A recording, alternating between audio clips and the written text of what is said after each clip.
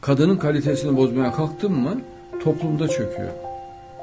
Kadının bakımlı olması, süslü olması, güzel olması yüksek kaliteyi gösterir.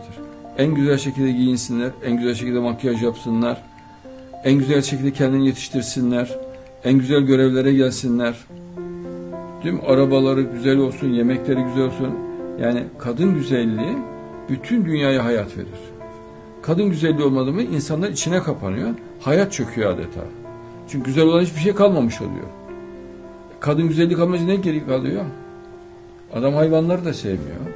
E, çiçekleri de sevmiyor. Ne kalıyor geriye? E, sadece çalışıyor adam. Ve yemek yiyor. Yine çalışıyor, yemek yiyor. Hayat bu mu ya?